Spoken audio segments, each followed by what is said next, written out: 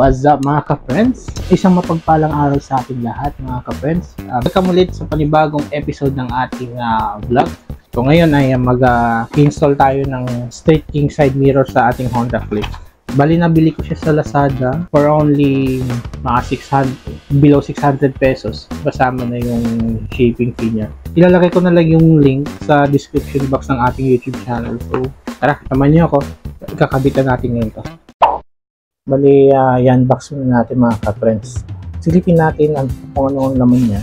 Meron siya mga kasama bolt, washer, tsaka mga allen yun. Bigay ko mga iba't ibang sizes to or iba't ibang threads. So, check na lang natin later kung aakma din sa adapter natin doon sa side mirror. Tapos ito yung mga tapos ito yung nakakip niya.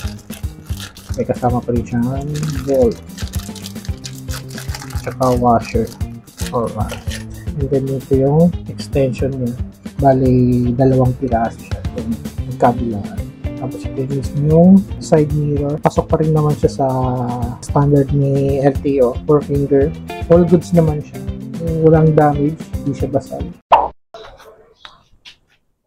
Bale, unahin muna natin ito. No? So, bali maghanap tayo ng kung ano yung tutugma na bolt dito sa ano natin. Sa adapter natin. Gagamit tayo ng Allen key. Bali, hindi mo ko muna siya hihigpitan. Kasi mamaya, i-check ko muna yung magiging viewing niya. So, hindi ko muna siya i-fix. Ayan, bali guys, so, luluwagan natin to para ma-adjust natin siya.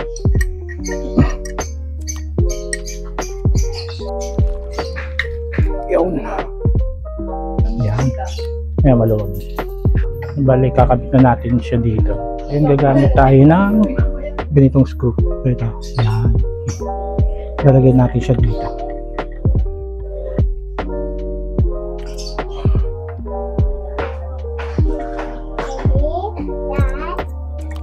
Yan guys, nilagay natin isa pero hindi pa siya nakafix.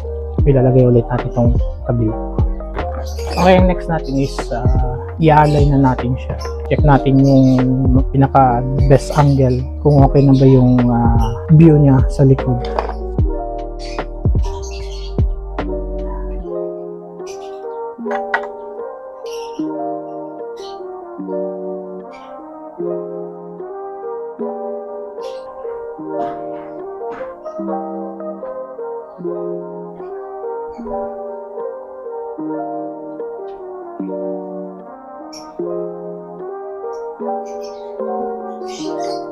Nakuha mo na yung ano, tamang angle para sa iyo. Yung sa viewing mo is pwede mo na siyang i-fix. Pwede mo na siyang higpit. Ano.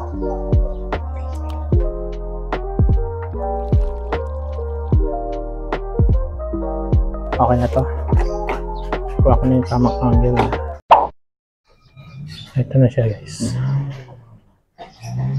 Hmm. So, pwede siyang ganito. Pwede rin siyang ganito. Yan. Pinalo natin. Yan. Kung saan kayo komportable. Yan. So, all goods. Ilalagay na rin natin yung mga takip niya. May tatlong pa dito siya. So, mas maganda rin para iwas na rin sa kalawang.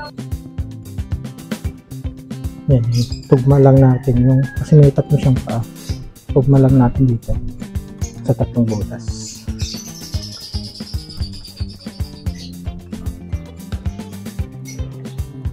Yung napapansin guys, meron siyang ito, parang may gatla siya dito.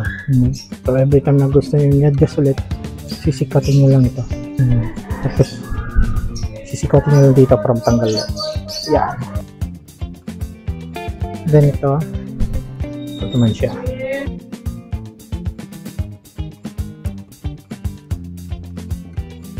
So, ganun, ganun din sa kabila guys. Ito, may natitira pang tatlo. Ayun guys, so that's it. Ganun lang kasimple yung pag-install nito. Straight, uh, um, straight king side mirror. Ayan.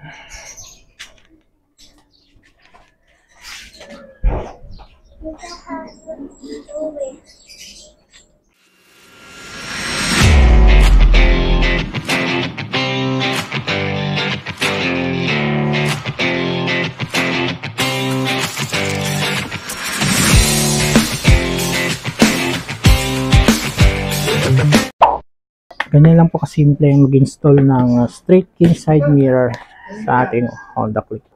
Ito po siya. Naway nakatulong po ako sa inyo. Kung nagustuhan niyo itong ganitong video, like, share, subscribe na po kayo sa ating YouTube channel, Jibugado Vlogs. Hanggang sa muli.